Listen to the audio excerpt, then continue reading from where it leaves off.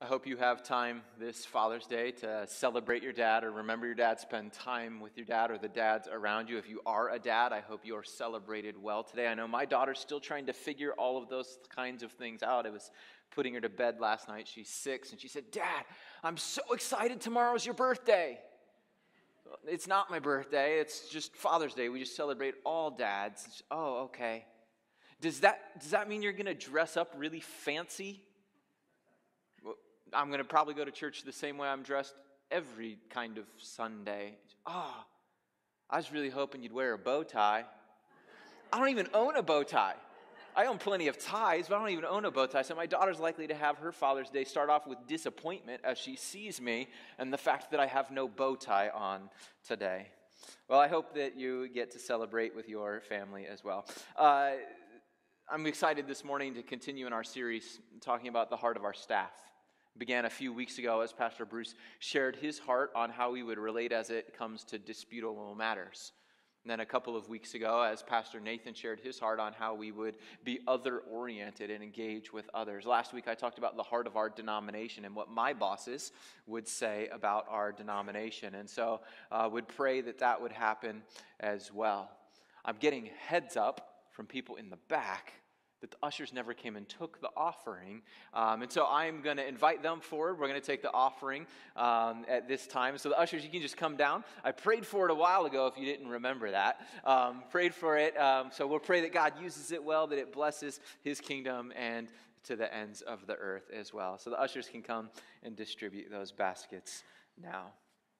Today, I get to continue that series talking about my heart and then next week it'll follow up. Pastor Rob will share his, followed by Sherry Morgan, our children's director, who in two weeks will share her heart. But um, if you were standing in my shoes, you may, uh, or pr- pictured yourself here, you may understand that there can be a set of nerves as it comes to sharing your heart that there's a vulnerability that comes alongside opening up what's deep within you and maybe personal to you with a group of people who haven't necessarily thought or prayed or felt the same kinds of things. And so I'm going to do that this morning, but ask in the midst of that uh, that you would extend me some grace. There may be some things that don't come out quite as clearly as I hope they will, um, and that you would extend grace as I just open up some of my heart for this church and for you this morning. I want to begin just by simply saying this I love this church, and I love serving it. It is a privilege and honor to have the position that I do. I don't take it lightly, it is deeply meaningful to me. Whenever I'm asked by people, whether it's people that uh, I know from other spheres of life or from churches I've worked in before, when I meet with other pastors, a common question is asked. People will just look at me and they'll say, How are things at Nowthen? Or how are things at your church? That's the question I'll get often. And so today you get some insight into how I always answer that question. I generally start by answering a different question, what I often think they're asking. I always say, my family and I are treated really well here. I often assume that when they ask that question, some of what they want to know is how am I doing at the church? Says, my family and I are treated really well. And then I move on to the actual answer to that question and the more important answer to the question. And God is at work.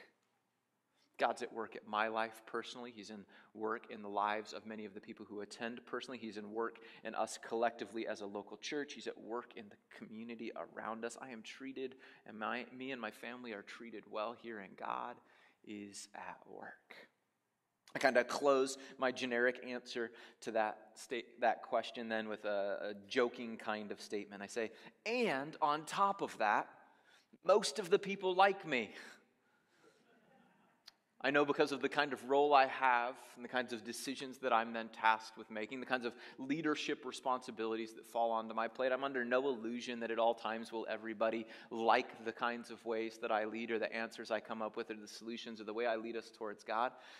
But by and large, most of the people do. The concluding joke that ends I'm convinced my approval rating is higher than any president in our history. My family and I are treated well here. God is at work. Most of the people like me.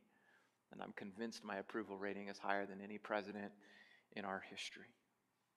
The truth of the matter, beyond that, is that my installation here as the lead pastor wasn't simply a job I took, it wasn't simply an offer I accepted. It was a covenant with God that I entered to see a community worship Him well together and to then proclaim Him to a world in desperate need of Him. And that collectively we as a church would be in intimate union with Christ as His bride. It's a covenant I entered with God, and it's the hope that I would long to be true of us that we would worship God together, that we would proclaim Him to a community that's in need, and we would be as intimately focused on being the bride of Christ as we can be. And yet, this morning, as I share my heart, you'll hear some of it that will come across as picture of that, and some of it will come across as challenge or conviction that we aren't fully there yet. Because what often happens in our individual lives and our collective lives is that we give our life over to something that isn't just Christ. We add other things, good things, no doubt, but we add other things into our life, and then we wonder why, we've clouded our lives with lots of things, that our intimacy with Christ isn't where we want it to be. That as we're His bride, and yet maybe not experiencing the fullness of Christ in the way we would hope to, and we question why that is, I think the answer is often because we haven't given ourselves fully to Christ. We've added other things into the midst of that. I want to talk about that through three different texts in the book of Matthew. The first of those is in Matthew chapter 4, if you want to follow along.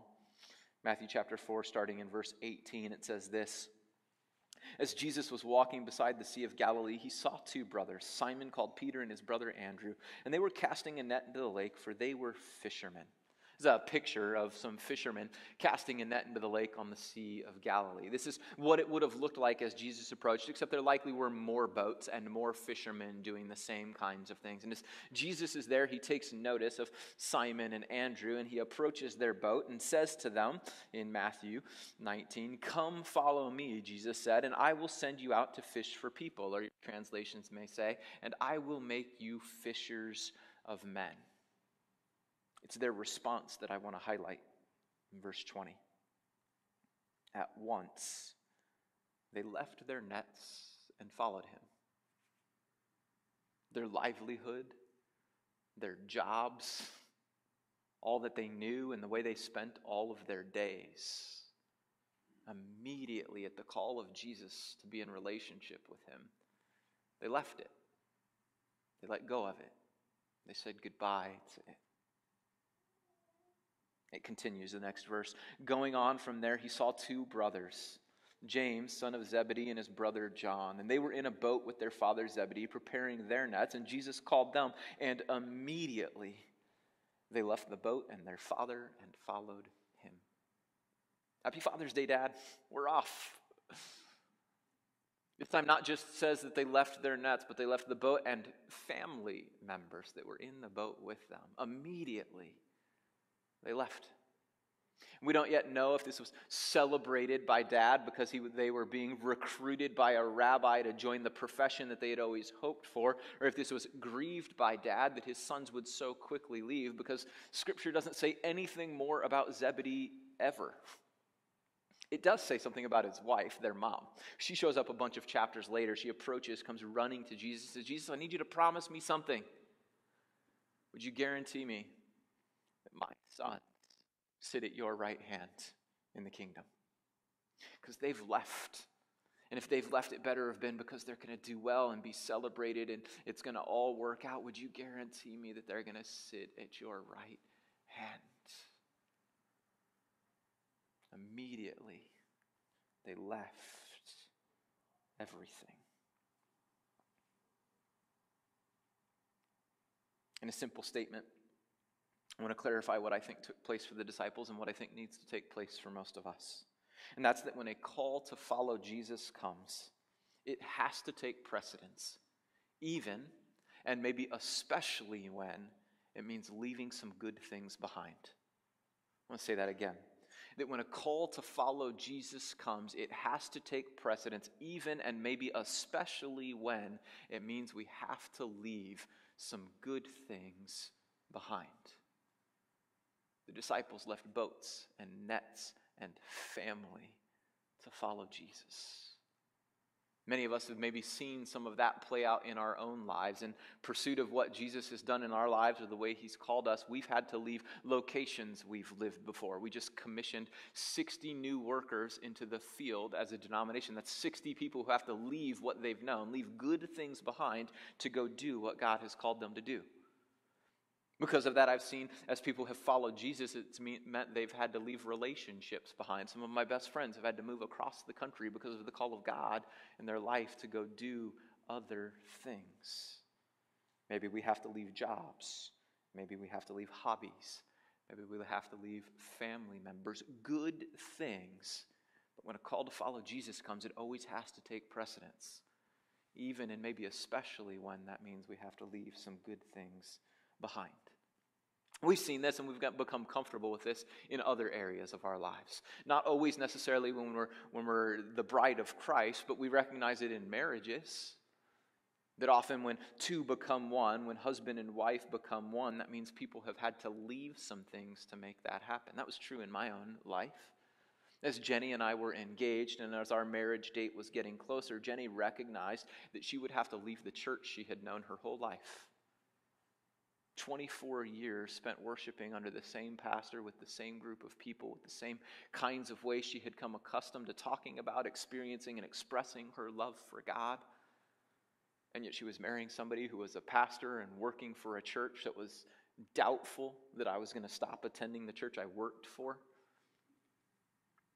And so, as our two lives would become one, and as we would do spirituality joint together, it meant she had to say goodbye to a good thing in her life to come join me at a different church. And there was grieving involved in that, and that's okay. I imagine there were days where the disciples missed being on the boat and casting the net, spending time with dad, doing what they had done every day for a long time. It's okay to grieve that loss and yet it still had to happen. Maybe the question that comes to us is what good things might Jesus ask us to be leaving behind? The truth of the matter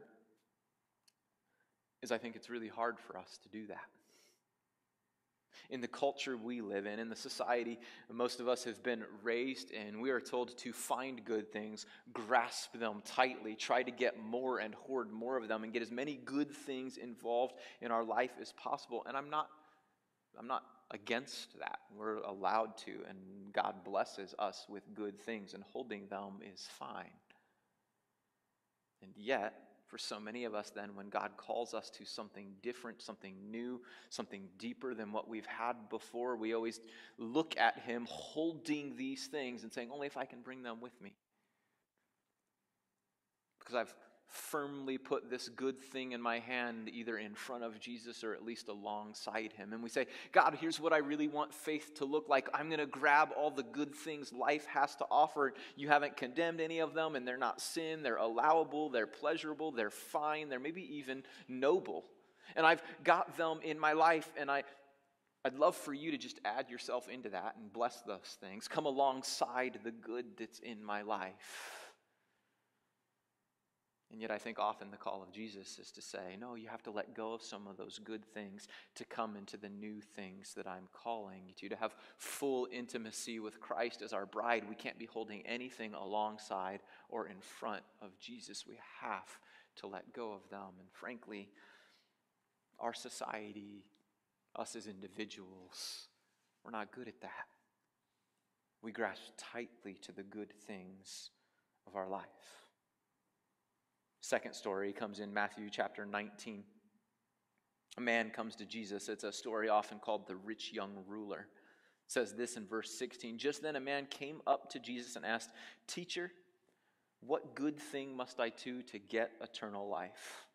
I'll, I'll, get to the other verse on the screen here in just a moment, but, but I want to just remind us that this man is coming to Jesus, acknowledging him as a teacher, acknowledging him as a rabbi, acknowledging that he may have insight into how the kingdom of God works well. And this man shows up essentially saying, I don't have everything I want with my faith yet. I don't feel in perfect communion with God. I don't have confidence that I have eternal life with him. What do I still have to do? unhappy with either who he is or where he is in his faith. And he asks Jesus about that, and Jesus responds, Why are you calling me good? There's only one who is good. If you want to enter life, keep the commandments. And the man responds, Well, which ones do I have to keep? He inquired. And Jesus replies, Well, don't murder, don't commit adultery, don't steal, don't give false testimony, honor your father and mother, and love your neighbor as yourself. And then he responds, All these I have kept, the young man said. What do I still lack? Many of us can find ourselves in the same place. We may have obeyed God well. We may have learned his commands, listened to them, practiced them as best as we know how, and yet there's some part of us that still cries out, God, I don't feel as intimate with you as I want to. I don't feel as confident in my relationship with you as I want to. The obedience of your commands hasn't given me everything you offer and that I desire from you. What, what do I still lack? What is it that I'm missing? No different than for the rich young ruler, the same is true in our lives. We will not obey our way into right relationship with God. We will not get the fullness of intimacy with God. We will not appropriately reflect the bride of Christ if all we're cared about is following his command. We have to abide with God. And so, as the man asks, What do I still lack? Here's how Jesus answers If you want to be perfect, Go, sell your possessions, and give to the poor, and you'll have treasure in heaven, and then come follow me. And verse 22 shows his response. When the young man heard this, he went away sad because he had great wealth. What Jesus says to the man is if you want the full intimacy, the full confidence of eternal life, if you want to be the bride of Christ the way you're supposed to, follow Jesus as well as you can, here's what has to happen. That really good thing in your life that you're holding tightly to, you need to let go of it. Not because it's bad. Jesus doesn't ever try to convince anybody that money is evil, or that fishing nets were evil, or that boats, or that fathers are evil. They're good things. But if we have held them either alongside or in front of Christ, they're stumbling block to doing what we're supposed to do and having the relationship and intimacy with Him we're supposed to have. And so Jesus says that that good thing in your life that you've hitched yourself to, unhitch yourself from that and then follow me. And the man leaves sad, holding instead to the good thing in his life. He had tried to add Jesus to it, and Jesus says that's not the way it works. It's not just a story of how the disciples follow him or the rich young ruler that approaches him. This is how Jesus teaches consistently. It's why we read verses in other parts of Matthew that say things like, if you don't hate your brother or your mother or your father or in Luke chapter 9, when some come to Jesus and say, We want to follow you, but first we're going to go back and bury our father. We're going to go back and kind of walk through end of life things with him. That might take a little while, but then after that we'll come. Or another says, uh, First, uh, I want to follow you, but first let me, let me go back and kind of shore up the family business thing and say goodbye to everybody and put nice bows on all the good stuff I have. Jesus' response to them when they say that Anyone who puts their hand to the plow and then looks back is unfit for service in the kingdom of God. Anyone who grasps too tightly to the good thing, even the noble thing, even the religious, right, family oriented kind of thing, but grasps to that and says, No, I need to explore that, celebrate that, tie that up. I need to prioritize that first, and then I'll get to Jesus Jesus says is unfit for service in the kingdom of God. You know what Scripture doesn't generally say? If you broke the commands, you're unfit for service in the kingdom of God. No, instead, what we see is murderers used by God, liars used by God, adulterers used by God, people who didn't honor their mother and father, people who stole, people who bore false witness. All those commands He had given, plenty of people who break those. God uses and shows his power through their weakness.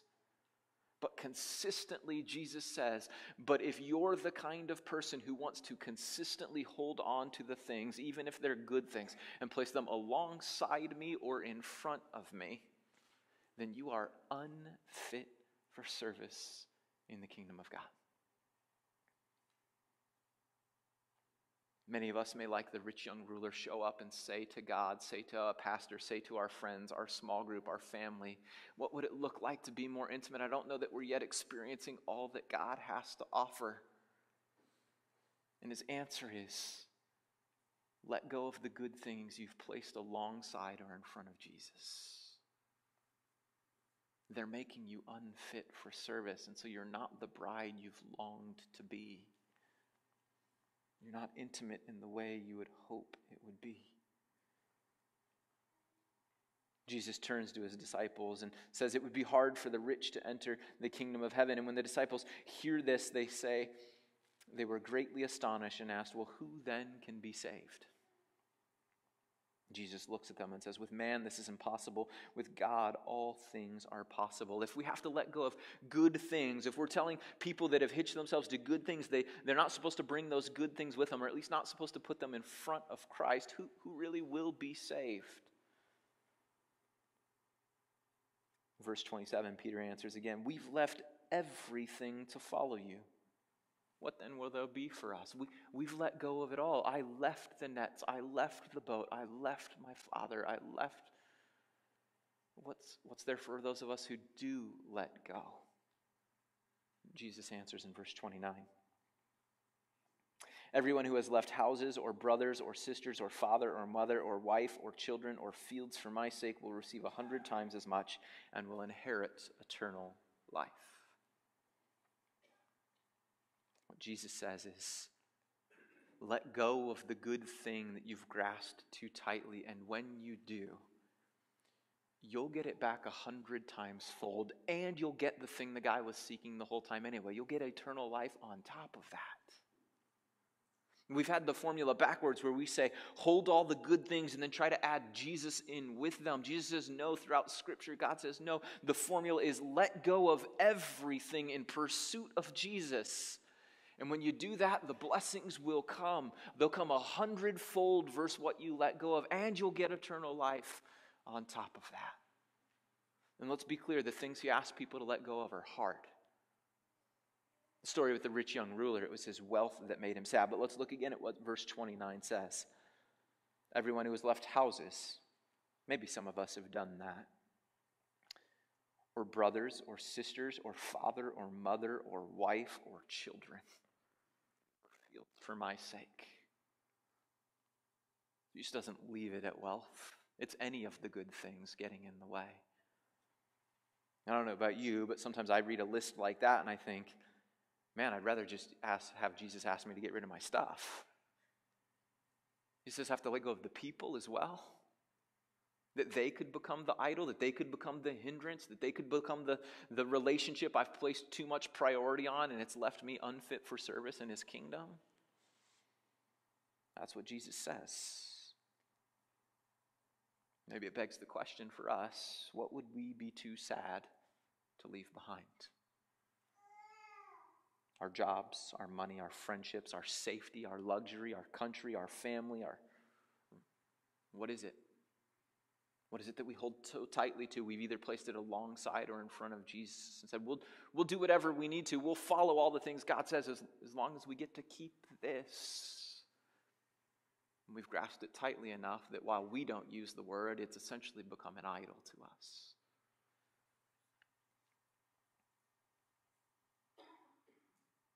Throughout Scripture, God challenges people in these kinds of ways. There's scriptures like this with the rich young ruler where it's a call to sell the things we've grasped too tightly. There's scriptures in the Old Testament where it's a, it's a call to only uh, gather enough food for one day and never try to secure enough even for the following day, but to trust and rely on God to provide throughout each of those times. And we see the hardest ones, where he tells somebody like Abraham, and I need you to let go of the promised son Isaac and show me you're willing to sacrifice even him, that you're not placing him alongside of or in front of me. God continues to challenge his people in these things. And here's where I'll ask for grace as I say it. Where there's a vision that we would be people who don't do it, the truth of the matter is that myself, many of us individually, and certainly collectively, one of the stumbling blocks we have as a church is that we've held on to too many good things. I don't mean what I don't mean that to say there's things we have to stop doing that old things are somehow bad and new things are somehow good. I'm just saying too often when we're called to pursue Jesus, we say, we want to do that, but only if we get to bring all this stuff with us. Only if the program that's been healthy and helpful for me continues. Only if my family's treated in the way I want. Only if my preferences are heard. Only if my desires are met. Only if my style matters. Only if, only if, only if. And we continue to grasp good things. I'm not arguing, Jesus isn't arguing that any of them are bad things. But we've held them so tightly, we've placed them alongside of or often in front of Jesus. And he's saying at times, the call to follow Jesus has to take precedence, even and maybe especially when it means leaving some good things behind.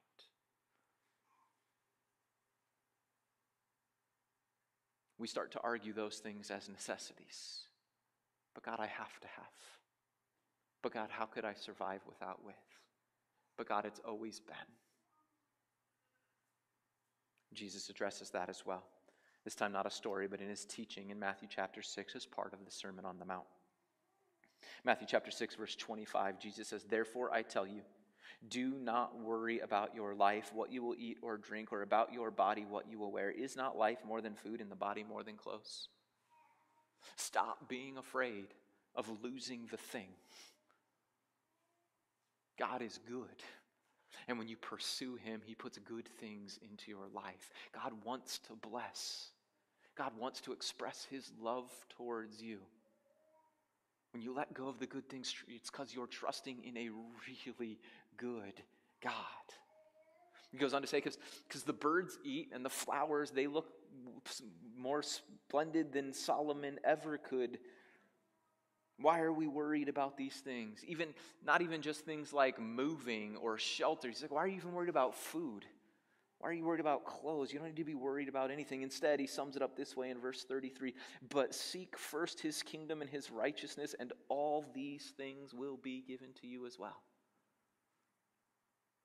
We don't get them because we hold to them firmly. We get them because we trust in and follow and have intimacy with a good God who wants to bless his children. So the formula isn't hold as tightly as, we can to the firm things we love and hope that God comes alongside and blesses those. No, the formula is seek God first, hitch everything to him, let go of everything that could possibly be in the way, even when it's good things, and hitch it firmly to who Jesus is. And then as we seek him and his kingdom and his righteousness, all those other good things come back. And what he said later was they come back even a hundredfold. But if we hold them and we hitch ourselves to that, we'll constantly be asking the question what else do I have to do? Why don't I have the intimacy I want? What do I still lack? What am I missing? That's the positive way of saying it. the harsh reality of the way of saying it is Jesus may be looking and saying, and you're unfit for service in the kingdom of God. Not because of your sin, not because of your behavior, not because of your lack of understanding, because you've held too firmly to good things and you've placed them alongside or in front of Jesus. If I was summing up my heart, I'd say it this way my heart for us as a church and for us individually is for us to get better and quicker at saying yes to Jesus. And I think the biggest barrier for us in doing that, individually and collectively, is the hardship that comes with leaving good things behind. And yet, I think, as Jesus has done throughout Scripture and throughout history, he calls us to do just that to let go of all of it, to die to ourselves, to hitch ourselves first and foremost to Him and His kingdom, to be the bride He longs for us to be. And that as we do that, out of the goodness and love and grace that He has, He will bless us in all of those ways beyond what we ever could have imagined. And so, my hopeful application is this that we would be people who repent of and rebuke our selfishness, our pride, our legalism, our religious spirit, the idolatry, idolatry we can have of our families or our systems or our programs or our luxuries or our comforts or our preferences. And instead of those things, we'd be willing to die to ourselves and fully become the bride Jesus longs for us to be. I want to pray for that. I want to pray that our hearts are going to be softened, that our idolatry will be broken, that our self centeredness is going to be refocused, that our worry will be vanquished, and that our intimacy as Jesus' bride would be fully restored. Would you pray for that with me? God, I am thankful that you were willing to leave good things behind that Jesus was willing to leave the perfect love of the Father and the Spirit, perfect communion with them, and the perfection of heaven to come here, to leave that behind and to come here to live with us, to model life for us, ultimately to die at our hands, so that the kingdom could be better, a hundredfold better. As good things were left behind so that better things could happen. And I pray that we'd be willing to follow in those footsteps of Jesus first, of the model of the disciples as well, and that we would leave behind even and especially good things so that we could fully pursue Jesus, so that we could be your bride well, so that we could have all the intimacy with you that's promised and that we desire, so that we would lack nothing because we'd be hitched fully to you. And I pray then that your word would be true, and that as we do that, we would then experience a hundredfold the kinds of things we had let go of, that we would see your blessing flow to us. And then as we receive it, we would extend it out to others as well, showing them of who you are and the good news of Christ so that they could then have right relationship with you also. I pray that we would be people who are willing to leave good things behind as we hitch ourselves fully to you, that we would seek your kingdom first and let all else be added after that. We know it's reliant on your spirit, and so we pray the power of your spirit in us. It's in Jesus' name that we pray. Amen. As you go today, I hope you go fully hitched to the kingdom of God. I hope you go able, if possible, to celebrate the fathers in your world. I hope you go with grace and peace. If you've got time, feel free to stay and connect with some people before you leave. Ask them about their Father's Day plans or just about how life is going. It's a great time for us to interact. Have a good day as you go. You are dismissed.